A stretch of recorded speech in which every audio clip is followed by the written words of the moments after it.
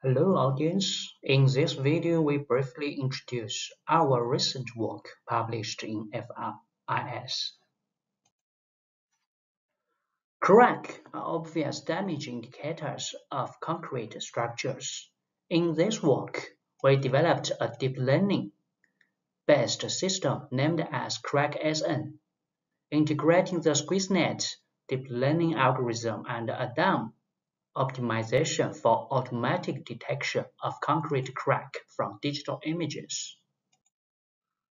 Here's a flowchart of the, our system, including three parts as image preparation, training and validation of the deep learning model, and the test stage for crack detection.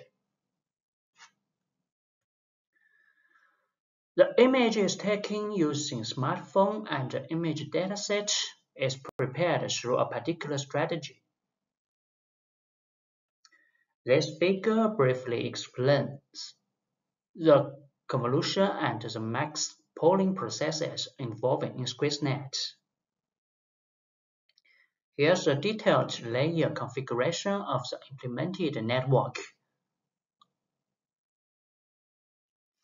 The system is implemented by MATLAB after training and validation, the best ADAM SqueezeNet model was obtained for crack detection from digital images.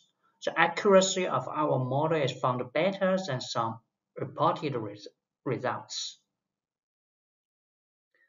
The classification results of our deep learning model and the corresponding probability map are presented.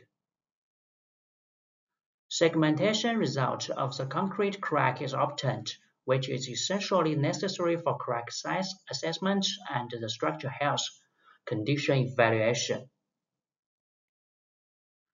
Conclusions are made based on experimental results.